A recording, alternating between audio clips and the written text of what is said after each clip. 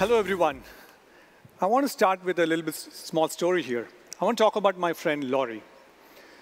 After graduating as a civil engineer from University of Texas at Austin, she works as a project engineer for a big contractor on large complex project. She's an information geek, a bit like me. She's tech savvy and also loves science fiction and the possibilities of future. Her life is organized by apps. She's obsessed over her fitness stats on Fitbit and always exploring new routes and uh, pushing herself up the leaderboard.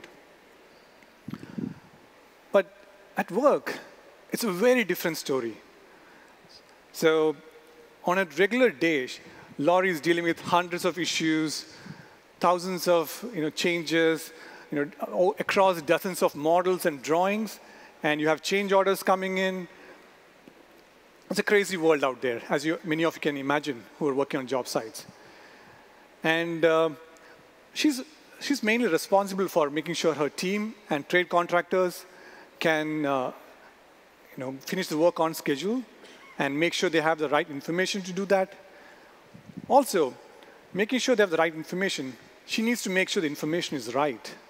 So while her personal life is all organized and she has all the data and info to go about it, at work, she's struggling to find like where to look. You know, she has no clue what information is right. And she's spending all her time just managing data. Think about that. She's managing all her time managing data instead of managing the project. And this drives her crazy. And as you can imagine, she never finishes at 5 p.m. So as Matt mentioned, in our research, we asked about this with many of our customers. How are you leveraging data? How are your project teams leveraging data? And across different geographies, the answer was unanimous. We are drowning in data. It's almost like you're stranded on an island, surrounded by salt water. It's all around you, but you cannot drink it. That's, that's the feeling many of these project teams that we talk to expressed with us. This is exactly why we need a data strategy. Every project team out there is collecting tons of data, terabytes of data these days. And it's not just important to digitize your workflows, but we need to make sure there's a strategy to leverage that and gain insights from it. Just one quick reference here. The global pandemic also accelerated the pace of digitization. I was reading about this. In 2020, in just a eight-week period, the pace of acceleration was almost as much as what we've seen in last five years. Can you imagine that? So even though that's a helpful thing, this is great. You know, everyone's digitizing now and moving to digital, but it's also amplifying the problems these project teams are faced with. So how can we help these project teams leverage data and gain insights from it? There are key pillars to the data strategy here. And let's look at this from the lens of three different customers and how they went about their data journey and how they made an impact across different levels of the organization. So I want to start with Aptim. Aptim is a leader in environmental services, critical infrastructure, and resiliences. We all know how critical it is to move people and goods safely from one place to another, and how frustrating it can be if your plans are disrupted. Think of like a, a traffic jam or a diversion. That's why it's critical to make sure these systems are back online after repairs. In a recent project, Aptim was asked to go in and do repair assessments for 200 plus structures in a span of just 30 days. Aptim also knows that $280 billion in construction rework happens every year, and this is caused by poor data and miscommunication. That's half of all the rework that could be avoided with just a little bit more upfront planning. And that's exactly what Aptim did here. As a first step, they went about digitizing their entire workflow, all the way from repair assessments to planning, to estimation, procurement, and construction management. With connected data, up-to-date information, and accurate information, their project teams were able to make faster and better decisions. They were able to reduce rework and cut down on waste, and also finish the project 12 days early That's a lot less traffic jams for you and me. I was talking to Kim Aaron, the VP of Digital Transformation at Aptim, and she told us they were able to pull this off only because they digitized the processes from end to end. They started with the end in mind. They had a data strategy going in. And they made sure they, if there is a need for specific data, they captured it from day one. Now, if you think about it, digitization alone cannot solve all the problems. A recent survey showed us that 35% of the time is spent on job sites looking for information. These are non-value added tasks. So that's why I meant digitization won't solve all the problems if your data is still captured in silos and you cannot easily access it. JE Dunn Construction, one of the leading general contractors in the US, had this challenge. Their project executives were spending countless hours looking for information across multiple systems in different formats. Can you imagine a project executive preparing a cost estimate, and you're looking at design intent in one system, you're looking at your quantities somewhere else, and you're looking at procurement data elsewhere, and you're doing all this with a deadline hanging over your head. This is why JE Dunn went about investing in Dunn Dashboard, an innovative platform that connected all their workflows from different processes into one single place and supported their project teams throughout their lifecycle. They were able to break down their data silos and bring information from all these systems and make it available at their fingertips for their project team members. Looking for information, searching for information became a thing of the past. And with Dunn Dashboard, their project teams were able to make faster and better decisions.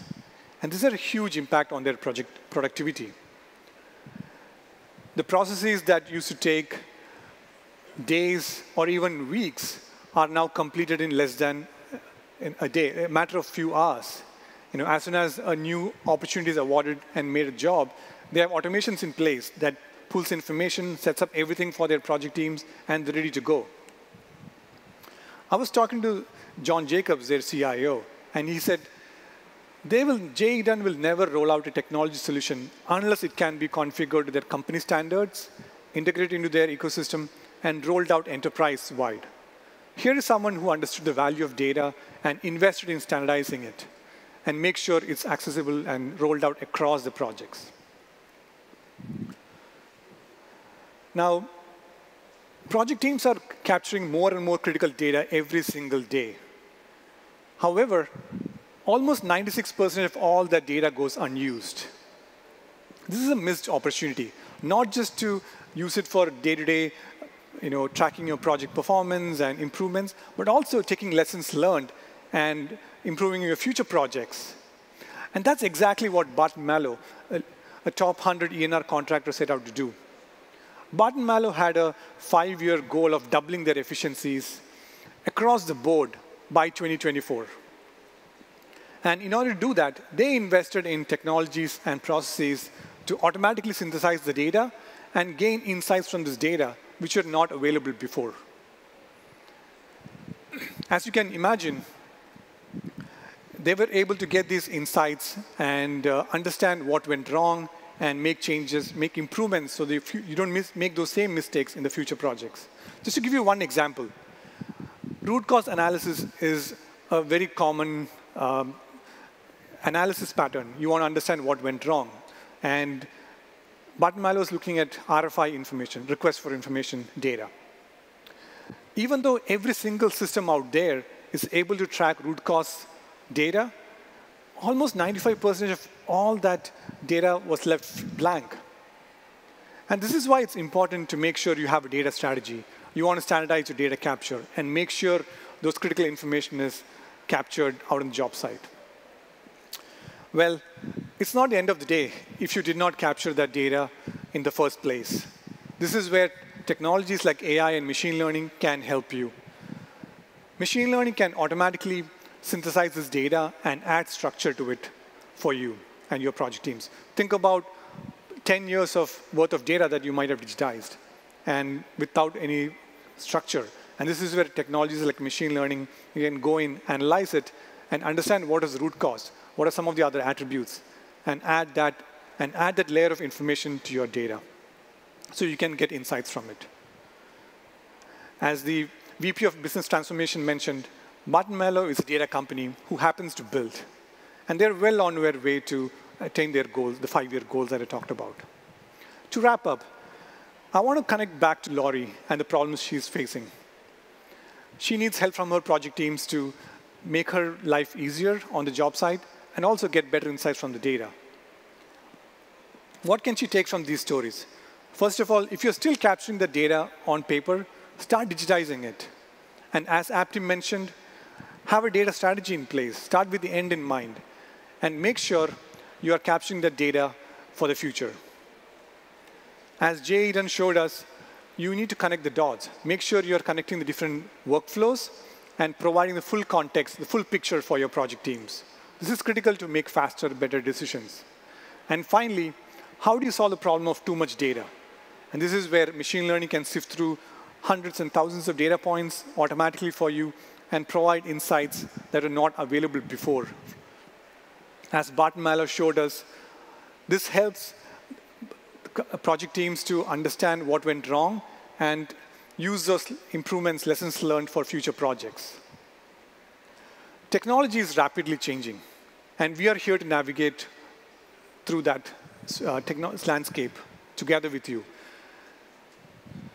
Instead of invest, focusing only on technology, what I would recommend is invest in building your teams. These are the teams who are able to help you build the right processes, tools, standardize, and get insights from your data that will help you create competitive advantage in the future. Thank you.